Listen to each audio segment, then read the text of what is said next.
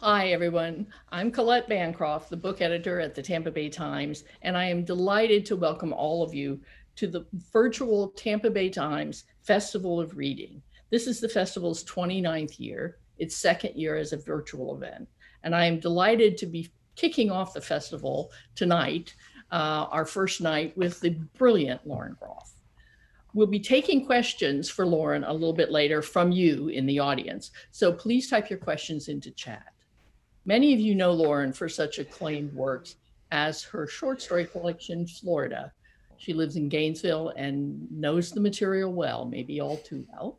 Um, and her best selling novel, Fates and Furies. She's here tonight to talk about her latest novel, Matrix, which is a finalist for the National Book Award for Fiction. And it was just announced today, is also a finalist for the Andrew Carnegie uh, Medal. Sorry about that uh, for fiction. Um, I would call that acclaimed. Um, all that adds up. Um, welcome, Lauren. It's great to see you. Are you are you zooming from Gainesville? I am zooming from Gainesville, and if we're lucky, the dog won't be snoring. The children won't be bursting in like the Kool Aid Men. we'll see. We'll see. I wish I were in Tampa. Uh, I wish I wish we were too. I wish we were together in a room doing this. Same. And next Same. time, I hope we are. Mm. Um, your books always surprise me. You're a writer who who doesn't repeat herself. There, clearly there are themes and ideas that that recur and come back in your books in different forms, but um, but you but every book is fresh, and that's certainly the case with Matrix. You've written historical fiction before. Um, Arcadia was set in uh, the 60s and 70s mostly um, your first novel, The Monsters of Templeton, went all the way back to uh, a couple of centuries to the founding of Cooperstown, your hometown. Um, but in Matrix, you go all the way back to the 12th century. um, it's a big swoop. And I wonder if you could start by talking about why you chose that setting and why you chose the historical figure Marie de France uh, as your main character. Sure. So I have. Um many answers for this. As you know, I'm not not a simple person. Uh, I think one there. Um, I I've been in love with Marie de France since I was in university. I um, I don't love big seminars. I get very anxious around a lot of people at once, uh, and I would sort of sneak into my professor's office hours and be like, "Can you please do a tutorial with me?" So I ended up doing probably, I don't know, 25 tutorials when I was in undergrad uh, and one of for a full year, I did Ancien Français, which is Old French. Mm-hmm. Delightful. I loved it so much. I did a great number of translations, and one of the people that I translated was Marie de France, who is the first published female poet in the French language that we know of, uh, which is so exciting. And her her book of lay, which are these Breton basically short stories in poetic form are magnificent. They're full of just wild things, talking stags and boats that are enchanted that float off to, to unknown realms and um, lovers who die on mountaintops. And so like there's so many wonderful things happening in these lay and it's it's such a weird and wonderful book that I since since college I've wanted to do something about her. For a while I thought I was going to do a, a translation and that just never got off the ground and then um, I was actually in the process of writing another book, which will be, knock on wood, my next book coming out. And I was at the um, Harvard has this wonderful institute for it's called the Radcliffe Institute for Advanced Studies, where people from all academic disciplines and artistic disciplines come together in order to share ideas in a way that we don't generally tend to in academia, because people in academia tend to sort of stay in their little silos.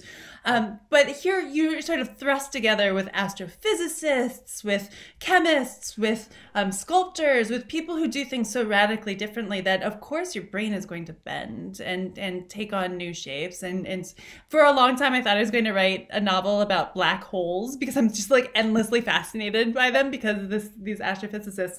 So I was in this place and I was writing this book that I still really love when um, two things happened. One, I came back from a, a, trip to Arizona and I watched on the plane this 1939 film by George Cukor. Uh, it's called The Women. It is such an amazing, it's an amazing film. Um, one of the writers of the screenplay is actually Anita Loos, who uh, it was the great novelist. She wrote uh, Gentlemen Prefer Blondes. That became a movie too. But the novel itself, if you're looking for a very, very funny novel, that's an amazing one. Um, so it's this very funny movie, and the only characters in it are women. But of course, it's from 1939, so the only thing they talk about is men. And then, like, I was like, the hurdles to clear for the Bechdel test were so yeah. small, and it just didn't do it. It was so frustrating. So I, you know, I had this sort of love hate relationship with this film, and then the very next day, I sat down and started. And my friend Dr. Katie Bugyis, who is now teaching at Notre Dame, started to give this lecture on um, the liturgies and the manuscript, liturgical manuscripts of 12th century nuns. And it, everything combined. Almost, sometimes when you get a book or an idea for a book, it's really as though um, it's it's nuclear. What is it? Fission or fusion? Uh, fission. When everything comes together and explodes and becomes something like much larger than it was. So I was sitting there, and my love of Marie de France came in, and this film from the night before came in, and um, the, my inability to write uh, about the world between 2016 and 2020 for obvious reasons came in because it, it, felt at the time that there was so much going on that I couldn't actually ethically try to grasp it in a work of uh, contemporary fiction. But I could maybe talk about some of these larger issues sort of slantwise in the past. Mm-hmm. Mm-hmm. Yeah.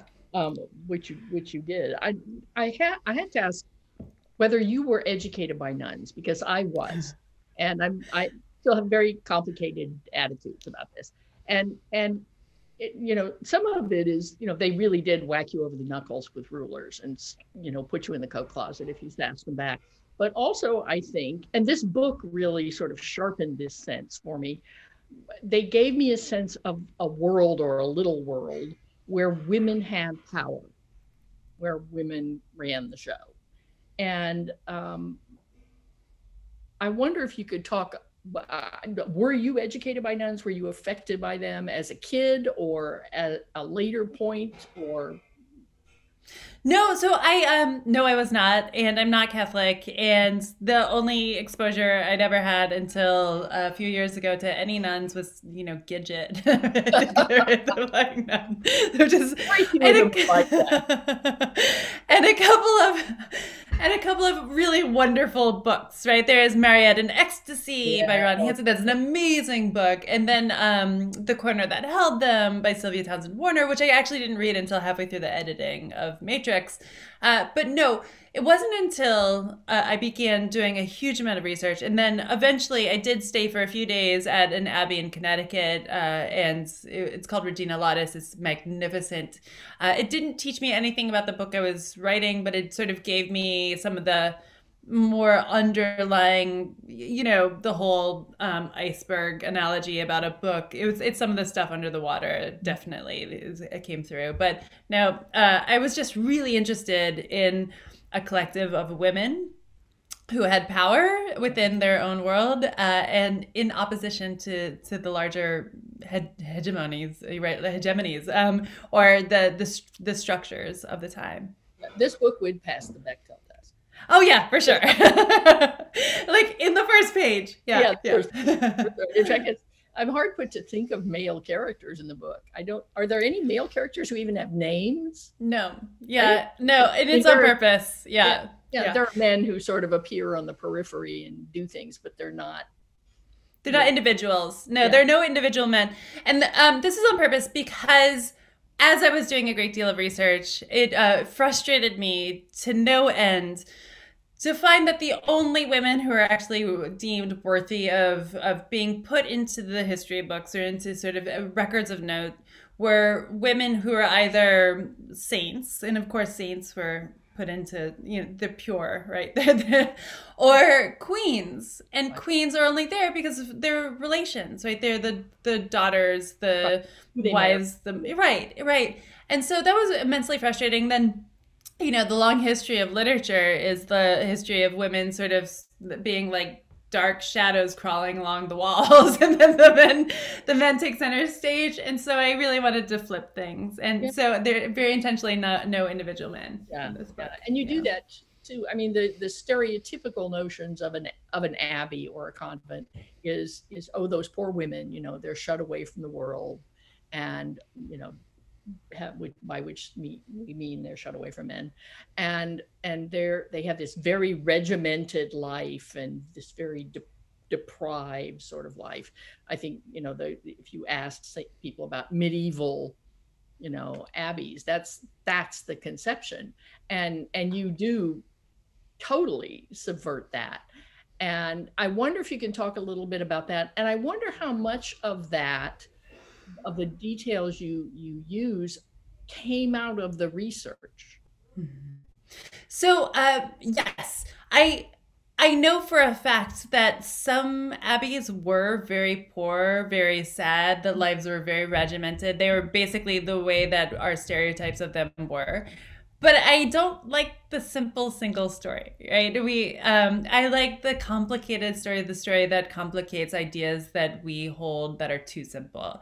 Yeah. And so I do also know, and, I, and through the research uh, that I was doing, I did see the really large set of reasons why women would go to these places. It wasn't just because they have a vocation, which is a beautiful and purely good thing. There were a lot of nuns who did have that.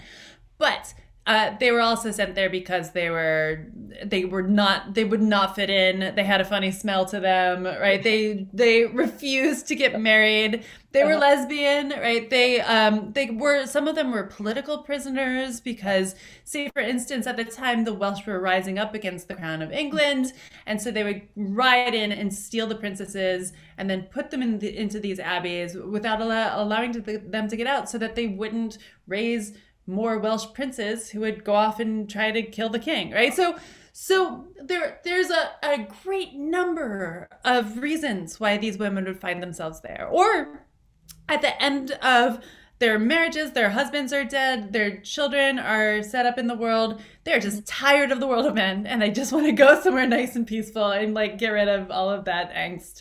Uh, so I that that's a great one too. Um, I actually tried as hard as I possibly could to not throw much invention at the book. So, uh, the vast majority of the things in the book are things that I did research, uh, or things that I found in research that were very obviously apocryphal. Uh, but I still took them and put them into the book because they're still somewhat in the historical record. And of course, I did use my uh, powers of invention to bend some things sure. to change other things, right? But but um, the the timeline of say Eleanor of Aquitaine's life is exactly the her timeline, for instance, and um, the the political things that are going on, sort of as noise behind the book, are were the political things that were going on for sure. Yeah, yeah. yeah. As you say, the, the, some abbeys were that um, poverty-stricken stereotype, and this one is at the beginning. Mm-hmm. When she arrives there, it's it's uh, um, it's falling down. It's going broke. It's the, the, most many of the women are sick, or starving, mm-hmm. Mm-hmm. and over the course of the book, the abbey changes. It becomes you know, first it gets a little better and then it gets a lot better and then it becomes really you were talking about politics, it becomes a, a, a political and economic power. Mm-hmm. And um, as as many abbeys were back then, because they owned a lot of land and you know they had positions in, in the social order. But also, of course, Marie changes. Mm-hmm. She she becomes, um, you know, she goes from this angry 17 year old girl cast out of the court um, to first just kind of deciding to buckle down, you know, and clean up the accounting books. And then she becomes a sort of um, manager and a strategist. And finally, she's a leader. She she kind of becomes some of the things that she admires Eleanor for. But she also goes through a series of changes in her attitude toward religion. When she first gets there, she's not religious even though as a child she accompanied her mother on one of the crusades. And I love I love her family. Her the seven viragos. I just I want to read a book about them too. Um, uh, but she's not, you know, when she gets to the abbey, she's like, yeah, okay, religion, fine. You know, she can mouth the prayers, but she has no real emotional connection to it. But after a while, for complicated reasons, she becomes a believer and later she becomes a mystic, which mm-hmm. is, you know, a, a, major transformation. And I wonder if you could, I've just asked you a very long question. Marie changes. Talk about that. Sure. Yeah. Well, I mean, of course, that is the basis of a work of fiction. That the the characters have to uh, have a dynamic attitude to the world in which they live over time. Um, but so Marie does change. She changes very profoundly. Her religious uh, change occurs when she falls in love with the women around her. Not just you know the the the love that we think of when it comes to. Uh, things like this but also she just she, she she loves the role that she plays she loves that she sort of creates a protective space all around them with her own forces and her own um, brilliance and her own power.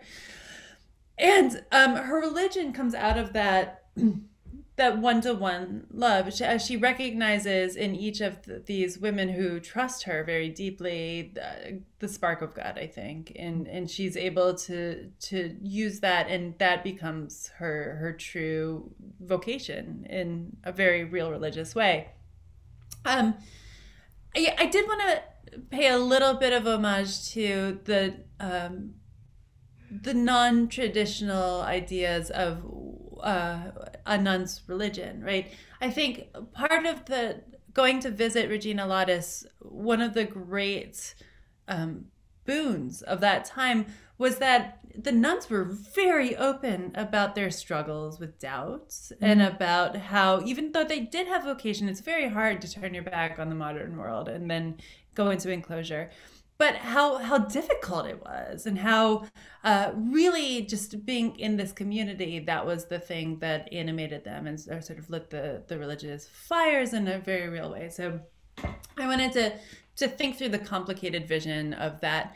But I also was so deeply inspired by my research into medieval abbesses who were, they did tend to be women from the noble classes uh, because they had to be. I think the only women at the time who were allowed uh, any sort of education were noble women because they were being raised to take over the large estates of their husbands when they went off to the crusades or to to, to fight their neighbors and like die of a lancet through the heart back. right yeah exactly so so they were the ones given literacy given numeracy um but so these were these women who a lot of them were just extraordinary business people. And i think that's one of the things that this book became to my absolute surprise and delight was this book about um, marie turning this abbey into a functioning business. I mean i'm not interested in business. My husband would say that he's a business person but I am interested in manifestations of power and the way that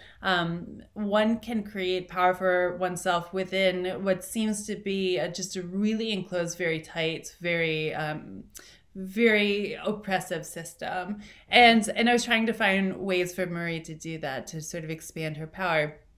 And eventually, she does become a mystic. And this comes out of my study of medieval mystics. I love them so deeply. All I want to do is spend time with Margery Kempe and Julian of Norwich and Hildegard von Bingen. And the, the person, it was actually Hildegard von Bingen, who is um, I have this this image of her. I just love her so dearly because I think she's uh, one of the great geniuses of any age. She she would do she would have been a great genius anywhere at any time. Um, she was a, a, musician. We still listen to her music. She's amazing. She was uh, deeply versed in medicinal herbs. She actually wrote a book about medicine that was used for 400 years later. But she also, after menopause set in, sort of the fertility of her body left her, but the fertility of God came into her. And so she started seeing these visions. And these visions gave her and I, I believe that they're real they they feel very real who knows but i i really truly believe that she was getting these incredible gifts of god uh, but at the same time she was able to use these gifts of god with her great great genius in order to to build power for herself within the world and without it at the same time. So she uh, she was able to get donations to create her own abbey. She was able to uh, to become the advisor for popes and kings. I mean, she was just this extraordinary human being who both was given a gift and then knew how to use that gift, how to spin that into more space for herself within the world. I I I'm circling back a little bit to what you said about about Marie learning to love these women um, and appreciate them. One of the things I like, you know, it, she becomes a manager, and and one of the things that struck me most was when she realizes all of the women in the con in the abbey have been given jobs they're least suited for on the on the proposition that it's good for the soul to be humiliated and abased because you know pride is original sin. And if you're if you're a terrible cook we'll make you a, we'll put you in the kitchen and suffer and so will everyone else. And she finally comes to the realization that maybe that's not working so well. And she starts changing things around. And um, I just I love that because it's both, as you say, it's it's it's the one-to-one kind of human connection that her genuine faith grows out of but it's also really smart management you know because everybody benefits from it. And and I, I love that later on some of the nuns are just known as like the blacksmith nun you know and that and that figuring out what the women are good at is one of the ways uh, that other women are good at and other women can succeed at within you know that world is one of the ways that she gains power um, and i just you know it really that really struck me you know. yeah marie is a heretical thinker for sure she mm-hmm. she does not take a lot of things as um uh, set in stone. And I think that she also believes very deeply in the body. I mean, she's a very, she's very much an animal. She believes in pleasure. She yeah. doesn't believe, she believes probably that pleasure is a gift of God and it's not something to, to hate. And that too is very, very heretical when it comes to the Catholic Church, right? Um, in, yeah. yeah, especially in the, yeah, when suffering was the thing that one was chasing. So I think um, for her to to find the thing that the people loved to do and were good at because they loved it, that that was something that she allowed everyone around them, and she did it out of purely practical reasons. But then yeah. it became something of her own quiet revolution. Right. Yeah. Plus, she got a good cook in the kitchen. And she got a good, she got she got good clogs for everyone. she the, did. the shoemakers. Yes, Nest. I love Nest. Oh, she was great. Yeah. I wanted to read a book about her too. I heard. that was healthcare. Let me tell you. That's right. Uh, the the title of the book is Matrix, and that word, of course, has many many meanings, and the book reflects many of them but one of the things it it refers to is the the labyrinth that Marie has the the the nuns build around the abbey, mm-hmm. and um and I wonder if you can talk a little bit about that and and how that t- the title ties into that and and into the other meanings of matrix.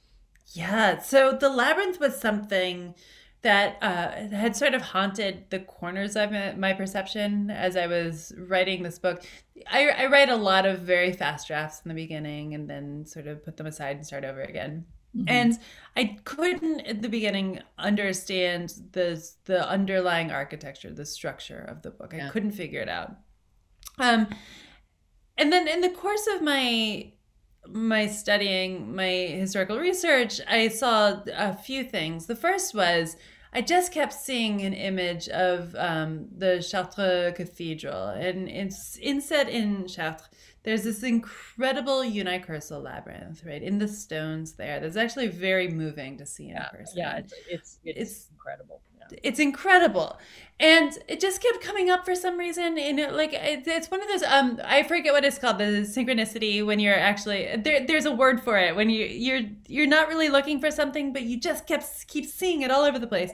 Um, and then you uh, and then so i kept seeing it all over the place i even printed one out and i realized um, after i heard this apocryphal story where eleanor of aquitaine uh, is this very powerful mythical was a real person but because news was not disseminated there was no printing press there was no um, newspaper there's no uh, you know your job did not exist. Uh, and people really just spread news by songs and stories um, oral um, storytelling. And so she was this fearsome person that sort of emerged into a lot of the myths of the time eleanor of aquitaine and one of the myths was uh, and, and this is predicated on some truth um, her second husband henry ii of england uh, eleanor is also a queen of france she came over to england uh, she um, they didn't get along very well. As soon as their sons were uh, of age, she started goading them to take their father down and become kings. And so uh, he, he, hated her, she hated him. And at some point, he um, had this beautiful mistress, very young mistress, that he really loves. And the story was that he built this garden bower for Rosamond, his his dear beloved mistress Rosamond. And he did it in order to keep her safe at the center of this labyrinth bower from his wife Eleanor, who was in the stories because women could never get along in in stories, um, was out to get Rosamond. And apparently, because Rosamond did actually, in fact, die young, um, they say that Eleanor got in and poisoned her. So I, th- I heard that story. I thought about the labyrinth of Chartres, and I was finally like, oh my god, what I'm doing is, of course I need to I need to write um, this book into the form of a labyrinth. I need to actually make it a unicursal labyrinth, and obviously it's tracing the course of Marie's life mm-hmm. um, all the way to the center, right? Um, and there's no getting out of the center. We all die. Mm-hmm. Um, and so, um, of course, the word matrix is, as you said, it means many, many things. It means mother. It's from the womb. Um, it's from the Latin for for mother. Um, but it also you know it means um, uh, organizational structures. It's sort of the bedrock in which uh, gems are said. It means um, a bunch of it's it's sort of the the original from which other things are created. So uh, the original record the original um, mold out of which other sculptures are made things like that. Um, and so I, I thought of this and i thought of uh, the way that uh, at the time, in order to seal a letter, you would use a seal matrix and you sort of press things hmm. in. Mm-hmm. And in some ways, the um, the the labyrinth that Marie and her nuns build is a really enormous seal ma- matrix, sort of pressed into the land. Right? It's yeah. it's something that's pressed through time. And my vision of the book, and one of the one of the many many drafts of this book was actually that they're very more it was, it was a, there was a much more explicit toggling between now and then. Mm-hmm. um, and there this was the tracery that was left behind was the sort of yeah but that's not in the book anymore. Yeah. Yeah there's they, they're very sort of slant you know looks toward the, the present but uh but it pretty much stays there. And eleanor it was interesting to me eleanor is such a huge force in Marie's life. I mean, she's the one who puts her there, and and yet Marie also, you know, worships her.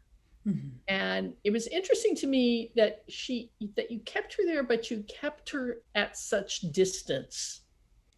Um, because you know you, this was fictional, and you could have, you know, you could have brought her there, you could have brought Marie to court, you could have, you could have done all those things, and um, I wonder why you chose to make Eleanor that kind of distant influence.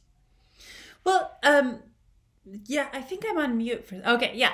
Um, so for multiple reasons, one of them was I really just had to to play with what I had, and actually Eleanor, because she was so powerful and she was so important, we know where she was throughout the course of her life. So I actually had to make sure that she wasn't at this, you know, Royal Abbey that doesn't really exist. It's sort of a conflation of Barking and Shaftesbury Abbey. Um, but the other thing too is uh, when Marie was in the court of Eleanor of Aquitaine that court is uh, was historically an extraordinary court for storytelling. That's yeah. where the troubadours came from, right? And and she put a great deal of money and time and love into the development of art, uh, mm-hmm. it, of of many different kinds of art, but definitely narrative art. So Eleanor was was very much a godmother of of oral writing, and and actually writing writing at the time too, and out of these these courts came an, a, almost a secondary narrative convention called courtly romance yeah. and a lot of courtly romance actually has a very codified system of rules that mm-hmm. when you you read these romances a lot of things are very similar so Marie, being a very young person, comes to this court. She's her her mind is blown by everything that she's hearing, everything that she's seeing, and she's not incredibly religious. So, uh, what she does is she takes into herself this secondary narrative substructure for the world and starts mm-hmm. to build her own understanding of the world on top of that narrative substructure so this courtly romance substructure so one of the things that that uh, occurs in courtly romance is for instance um, marriage is no impediment to true love right for instance so so either member who's loving it doesn't matter if they're married distance is no impediment to true love. So you're basically, courtly romance is about idealizing a person and sometimes never even coming close. And in fact, coming close actually destroys some of the love. So, mm. so Marie took this into herself and um, she started to see, of course, Eleanor as her her beloved, uh, and and she's in the role of the knights because she always subverts these roles, right? This is her job is to subvert these roles, and then Eleanor becomes a goad when she doesn't allow Marie to come back uh, to the court. She becomes the person against whom she needs to fight. And Marie is one of these people who needs to have an, a, an enemy, basically. Uh, she's a, a, a, model. She, she shows Marie through her own ambition and her own uh, abilities how to sort of negotiate power. And she becomes a friend. So it's, it's, it's this relationship that's. Um, it starts really far out and then comes closer and goes away. So it, it's it's a dynamic relationship. I, I wanted it to be one the whole way through. Well, I think in a few minutes we want to go to the audience questions, but I want to ask two more things.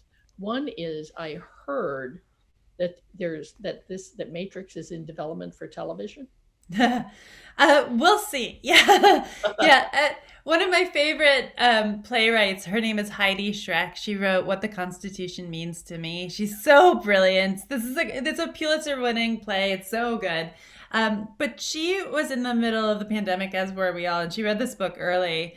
And I think something about the um, idea of uh, well, first, like an isolated community of women, but also Marie's building something the whole way through and making something beautiful out of something terrible that really I think that brought her um, some hope. And Heidi is like so many people, which I've discovered as I've brought this book into the world, a secret medievalist. There's so many secret medievalists. Who would have known? so she knows a lot of the things that I'm sort of hinting at or mentioning, or, or sort of. Uh, we'll see. We'll see what happens, but I I feel good about it yeah well i would sort of boggled my mind at first to think of it and but the more i thought about it i thought i'd watch that i wouldn't but uh, and the other thing is uh, as you said earlier you were writing a different book when mm-hmm. this one when that sort of nuclear fission happened and this one took over um, but you have you have gone back to that one mm-hmm. and and it's i think tentatively scheduled for uh, 20, 2023. Yes. And um, I know it's I know it's early, but I, but the title is out there and the kind of subject matter is out there and the fact that it seems in some ways sort of related to this book mm-hmm. um, i wonder if you can talk about it a little bit sure yeah um, it's called the vaster wilds uh, mm-hmm. right now and i um, I was imag- imagining doing a female Robinson Crusoe because. Robinson Crusoe is one of my favorite books. Mm-hmm. It is bonkers. It is such a bonkers book. And one of the reasons why I love it so much is because it's I don't I don't I don't know if this was intentional. It might have been intentional, but it really codifies um Calvinism, right? like English Calvinism yeah. in particular because here's this man who uh, escapes to this this island all by himself. And what does he do? But he builds a table, like, like, like a workspace. He builds a workspace. Uh, it's all about work. Uh, but it's it's really interesting to me. And then I um. I what I want to do, and knock on wood that it ends up succeeding, but uh, I want to write a triptych. And so Matrix is the first, and The Vaster Wilds is the second, and the third is something set now that I'm kind of struggling with, but it will happen or it won't. um, and uh, they don't share anything, right? None of the characters are the same. None of the ideas are the same. Uh, even the language is very different because in the second book, because it's in 1609, I'm playing with a great number of Shakespearean words and uh, rhythms and ideas, and it makes me really happy to do that sort of stuff. Uh, and the next one, you know, we'll see. Um, but what's happening is I want them to be like whales sort of singing under the water, right? I want them to have thematic ideas that are really um, that that are linked somehow. I, I want them to talk about women in um, sort of rigid structures, uh, encountering nature in their own ways, and the way that the religious structures and the ideas of God uh, change the way that they interact with nature, uh, and the way that possibly religion is uh, to blame for climate change. and there's so many things that I want to to be sort of swirling about and and speaking to each other over the distance, and I and I would trust the reader to make those connections.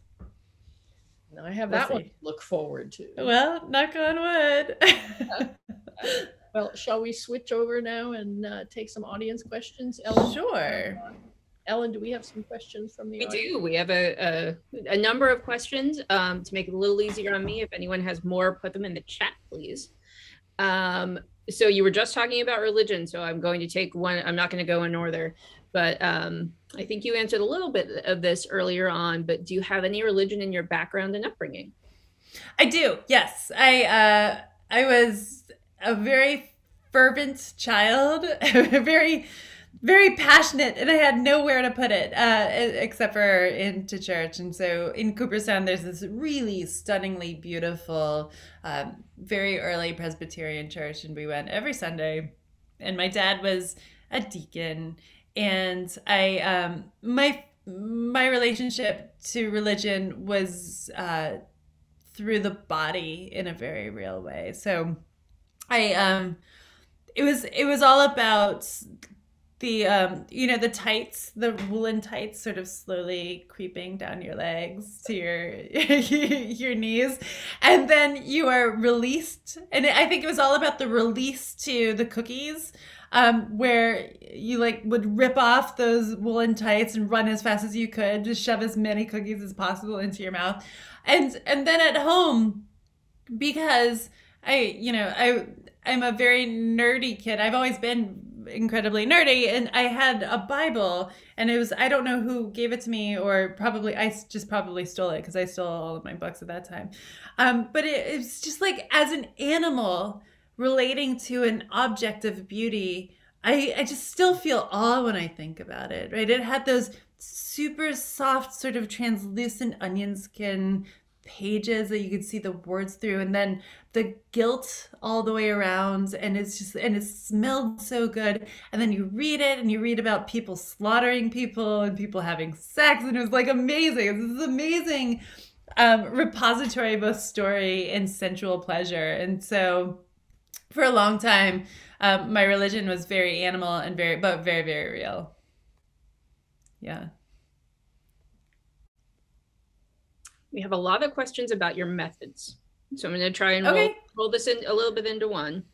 Um, wi- how long did it take you to write the Matrix? And do you have assistance with your research? And how long does it take? Yeah. So, uh, Matrix probably took, oh my goodness. Uh, I don't even know. Maybe, maybe not even a year, which is incredibly fast for me. I tend to write very, very fast, uh, very slowly. Um, but this book, I, I, because I was at Harvard when I started it, and I did have have research assistants there. Uh, I was able to get a lot done, um, a lot more done, and and I had access to a library, which I'm just um uh, I am just a writer, right? I don't I don't teach in any program other than a low residency program. So I don't have access to the University of Florida library unfortunately. So when I do have to do research, it's a big pain in the butt. I have to buy all the books. They cost $60 and they're from 1923. It's really uh, painful. But there I was able to just really access everything, take all the photocopies and come home and just uh, plus I didn't have my family there, so I could do research like 18 hours a day and then collapse into bed with all my papers around me and like crumbs in the sheets. It was great. Um but uh so the, yes, so I did have research assistants, thank goodness. Um, the writing of it took me about a year. I finished it shortly before the pandemic started. and then I edited it all the way through um, the first part of the pandemic. Yeah, it was it was no fun to be alone. How do you decide what to edit out? Is a question that just came in. How do you decide? what Oh, to edit out? yes. So here's the big trick of writing uh, historical fiction. I think that because you find so many delicious things, you just want to put everything into the book, right? You just want to like lard the book with joy. I think um, having having a lighter touch was always in my uh, perception of what this book was. So my model was Penelope Fitzgerald's The Blue Flower. I love that book so much. It's so good. It's about Novalis and it's a love story, but it's it, it's very weird. Um, but she she I mean it's very much a historical fiction, but at the same time it feels very modern. It's it's strange. It doesn't have a lot of like these and thous. And so I really had to struggle with putting in just enough, um, and enough to be plausible, enough of the historical stuff to be to to sort of to anchor people in time.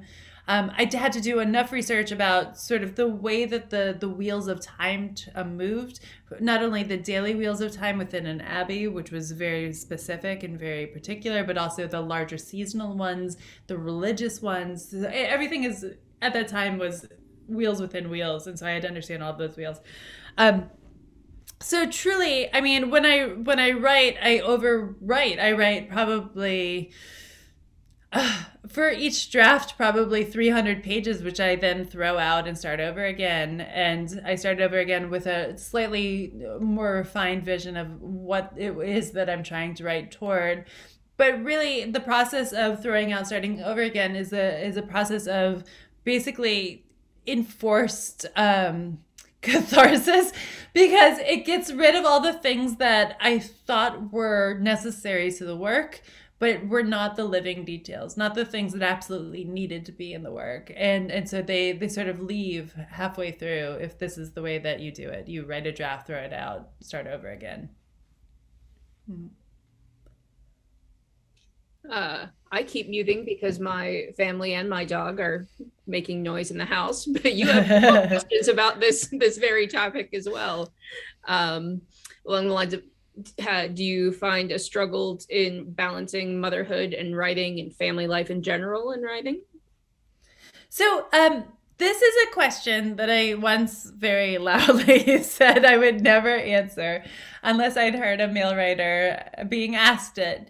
But luckily, I've heard a male writer being asked it, so I can actually answer this question. Here we go. Um, I don't struggle with this, and it's not, I, you know, um, it's it's because before the boys were born, I created a citadel around my work, and um, and it is the thing that I do, and it's the strongest thing. Um, and everyone has to sort of bend around my citadel, which sounds very, very arrogant, but I don't care. Um, I think part of it is, and this is real, and if there are people who are struggling with this, it's a suggestion that worked for me. Um, I sat down with my husband and we wrote out basically a contract, and it's an actual physical piece of paper on which all of our expectations and our and of childcare and work are put out just baldly on the on the page because what happens in our society in general when a when there's a man and a woman in a relationship and the woman is the one who has the babies there's this assumption that um, she's the primary caregiver. And um, it's i mean there's studies galore about how housekeeping is not split 50-50 and uh, I don't want to be a resentful person. I don't want to be an angry, resentful mother. I don't want to hate my husband for not doing half the work. So we really did divide it up. And one of the things we, we realized was I work really well in the morning as soon as I get up. So I'll get up at five in the morning. I'll go straight to my work. I don't have to do anything from the day before the boys were born. I haven't had to do anything. So I don't feed them. I don't clean them. I don't flush the toilets. I don't make breakfast. I don't make lunch. I don't take them to school. I don't make sure that they're ready for school at all. I don't see anyone. And if anyone bothers me, like I become like a banshee. Like I chase them out of the room. Um, and we did that in order to protect that time and that space as my workspace. This is also to say that um, I'm very lucky to have that that guy in the other room, right? Like that is a lucky thing, but also we codified it. And if one of us is unhappy, we go back to the piece of paper and we talk about talk it through and we try to make it balanced. Um, because I do think that this is a very real peril when it comes to raising children and trying to do your work is that you want to be with the kids. They're cool. They're the greatest humans on the planet. All you want to do is be in the same room as them. Um, but I would not personally get any work done if I were to do it in the same room as them. So it's a very long winded answer to say, um, yeah, I don't struggle with it, but uh, it's because I, I made a contract. Not romantic. I said this in Poland once, and they're very romantic people, and they were so angry with me. Like, that was like the headline. Like, Lauren Groff is the least romantic person on the planet. She makes a contract. It's like, yeah, but I'm not mad at my husband. So um, let's take it back to the book for a minute here. Uh, one question is Did you choose the voice talent who narrates The Matrix on Audible? I did. Okay. Who has what? I this is I love this so much. Um Bridgerton. So the the Duchess Bridgerton, she's yeah. Adjoa Andoh. She's actually the the reader of the book. And so I knew from the beginning that I needed um, a very wry, sort of mature British voice. Uh, and th- she's so good. I mean, she's so good. I, this is her. I mean, she does a lot of acting, acting, but she also does a great number of, of book readings. And I heard her, and I cannot stop listening to her. She's amazing and she sort of she, she, i think she takes some of the the funny scenes and she really spins them and makes them even funnier. I love her. I'm so happy that she did it. She's so she's such a good actress. And now like i i don't i don't want people to see her as marie of course but i'm not against that. I think she's very very cool. I love her too uh, Marie is so well described physically as tall and plain looking. Is there a drawing or a painting of her on view somewhere? No, she, so there's nothing that we know about her life actually. Period. Um, we do. Some historians believe that she may have been a, an abbess from France in England, right? So that's so I took that um, as as sort of a, a standpoint. Um, some other people think she may have been uh, Eleanor of first daughter from her marriage to Louis de um, in France, uh, Marie. I don't know. Nobody knows anything about the actual Marie de France. So nobody knows what she looks like. Nobody knows anything, anything whatsoever, where she comes from, anything. Uh, so what I did when I was trying to build this character is that I went back to her lay and her fables, and I just sat down with the books and plucked out of each book uh, the imagery and the ideas that I found deeply compelling and sort of built this almost piece of flash fiction out of them. And then I looked at this piece of flash fiction and I tried to extrapolate from that personality and out of personality, physical form and shape. So it was really the opposite, I think, of what historians would do. Um, I, but I went back to her work and I tried to, to make her work speak her her person into being. We have a lot more here. I'm sorry. Okay. No, it's all good. I'm very happy to answer. Can you talk more about the methods, aids, and strategies that you use so masterfully to interweave historical context and compelling character development? Oh, that's so nice. Uh, it's it, well, I I'm looking back at it from a stance of uh, years now, and it feels like uh, controlled chaos, which it's contradictory. But uh, I had notebooks full of ideas and notes and places where I got uh, things.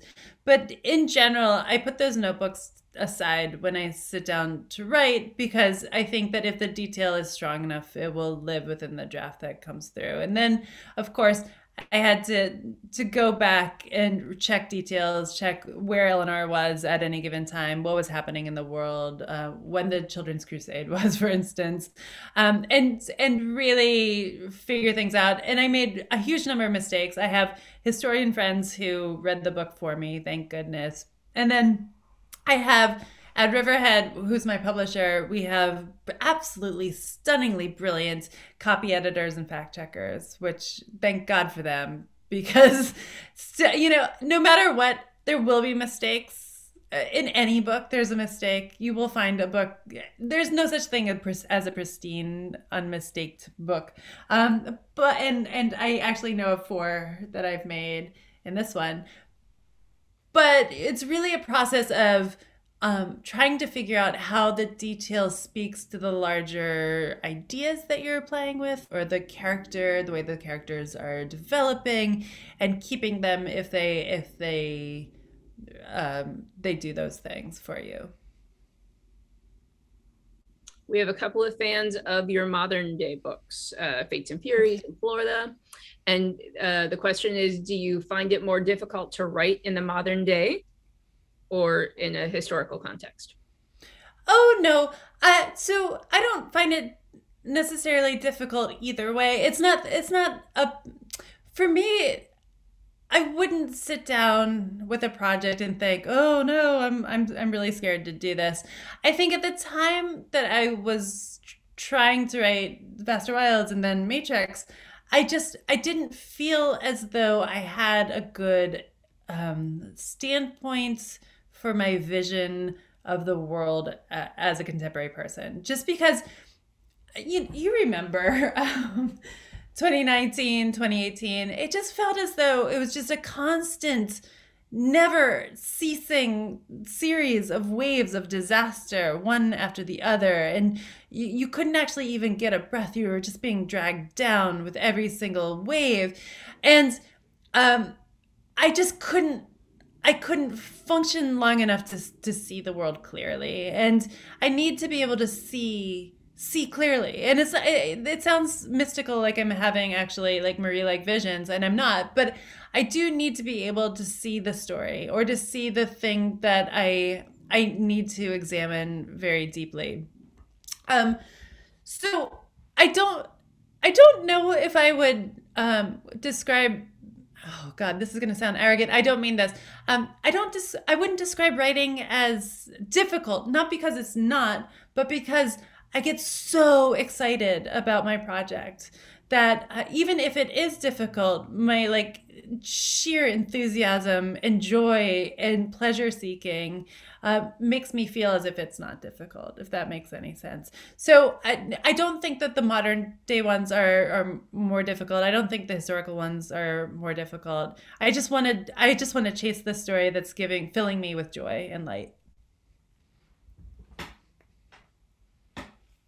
Couple of more uh, character questions. Okay. Do you find Marie as enigmatic as Matilda in Fate and Furies?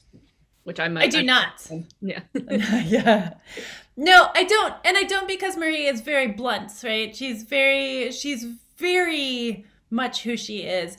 I think she's probably, um, bold. She's uh probably pretty arrogant. She um, doesn't have wonderful social graces. Uh, she's she's very enthusiastic. she but she's also insanely smart. She's just um, just a brilliant person. And I don't think that if she were to put be put at any point in her life into the middle of a court in session she'd be able to function as well. She's not a social animal but she is a political animal. So she's able to from a distance from um, a, a, place of great vision able to look out and, and change the world uh, with her um, very distant um, powers. I don't find her enigmatic at all. I do find matilda pretty enigmatic uh, and she, but because i think she she hides things from not only all the people around her but also from her own self. She's she's just a person who's who's in hiding and and that's why she's enigmatic. Uh, another along those lines because you wrote a beautiful story about Eloise and Abelard. Again, I'm going to apologize if I'm mispronouncing names. Um, did Eloise's experience in the convent contribute to your recreation of Marie? Yes, the story of Abelard and Eloise is one of my absolute favorite stories of all times. It, and it was a story that I studied in my French classes in, in university. Um, yeah, yeah, this really helped a lot. Of course, the the letters between Abelard and Eloise are said now to have been forged, which makes me really sad to think about. Uh, but they were real people. Uh, Abelard was a real philosopher in Paris. Um, Eloise was a real person that fell in love with him, and they they fell in love with each other. And um, horrible things happened to both of them. They had a child out of wedlock. Uh, she became an abbess he got castrated. It was all very awful. Um, but uh, it's a it's an incredible it's an incredible story. Um, I actually wrote before I wrote that short story, which is my first published piece of fiction, I believe. Uh, it came out in 2006. Um, and uh, but it came out of a novel that I had written and then failed to actually make into a good novel uh, th- that I wrote when I was about 23. And it was um, the story of Abelard and Eloise set in a Scientology tower. And I thought it was hilarious. And nobody else liked it at all. Nobody else who read it. And so I threw it aside. And um, I went and got my MFA a couple of years later. And was about to go into Lorrie Moore's class and I love Lorrie Moore. I think she's brilliant. She was she was one of the first contemporary writers that I ever read because you don't read contemporary writers in general until you get into creative writing classes. At least I didn't. Um, and I was writing at the time these ersatz Lorrie Moore stories, which is so embarrassing to think about giving her like a lesser version of her own stories. So I had to like scramble and think about how to to write something so different from her work. And then um, Abelard and Eloise came back to me, and uh, this amazing real life uh, swimmer named Ethelda Bleibtrey, who's the the first American female uh, gold medalist, uh, but she had had polio and she'd survived the 1918 flu epidemic, all this stuff. Uh, and so all of these things came together, and again, it was a nuclear reaction, and uh, that story was was born. Thank goodness. That's that's the story that gave me my agent um, somewhat related, but how much of yourself goes into characters you write about? And do dreams help you create? Yeah, so uh, there is no character I've ever written who doesn't have a little piece of me in it.